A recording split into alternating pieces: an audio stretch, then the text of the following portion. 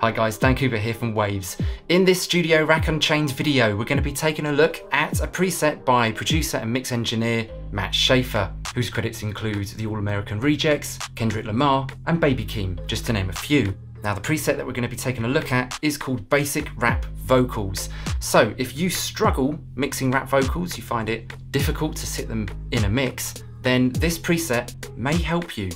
So, let's have a listen to what this preset can do but first, let's take a listen to a small extract of a song I've put together for this demonstration.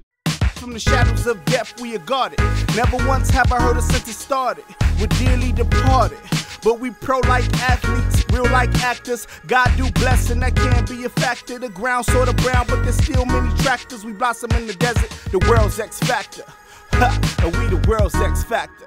Okay, so we've got a well recorded rap vocal there, but you'll notice by looking at the waveform, it has got quite a wide dynamic range. So certain bits of it are getting lost in the mix, and other bits are poking out a little bit too much. Now let's take a listen to what Matt's Studio Rack preset basic rap vocals can do for this. First, let's take a quick look at how this is set up, and you'll notice we haven't got any macros here. That's not criticism, it's an observation, and also an opportunity because what you can do, if there's any particular plugin in here or control that you want to add to these macros, feel free to do so. Make it your own. Matt put this together very much as a starting point preset. So let's take a look at what he's used. In the first insert, we've got Renaissance EQ. There's a couple of points of interest here. We've got a little bit of attenuation here at the top end, just to help tame harshness. And at the bottom end, instead of having an aggressive high pass filter, removing all the rumble out of a voice, he's done a low shelf, just so there's still some low end energy still at this point. Next in the chain, Renaissance compressor,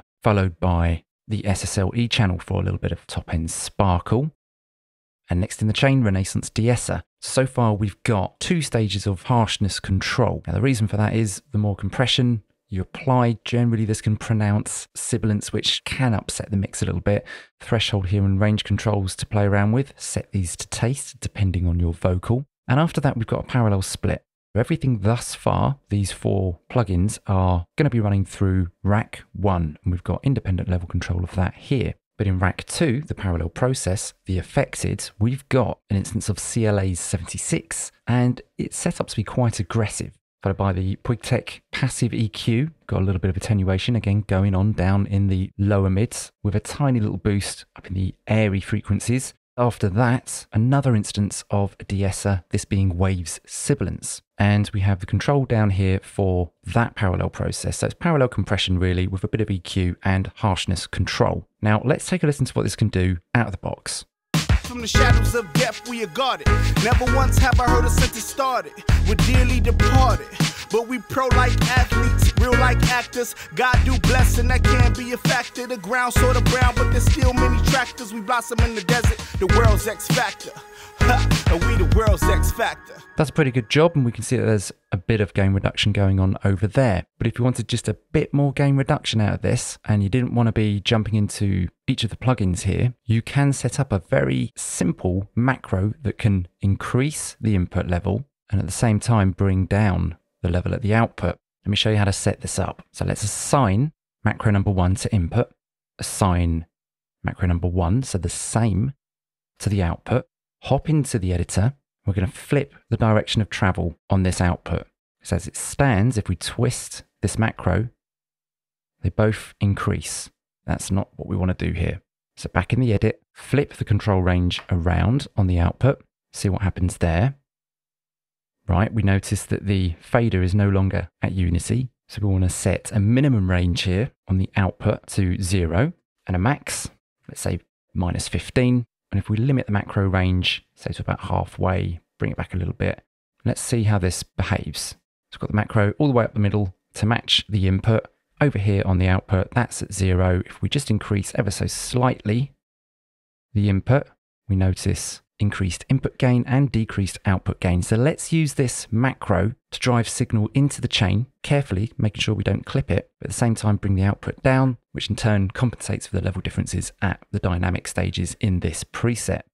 From the shadows of death we are guarded. Never once have I heard a sentence started. We're dearly departed.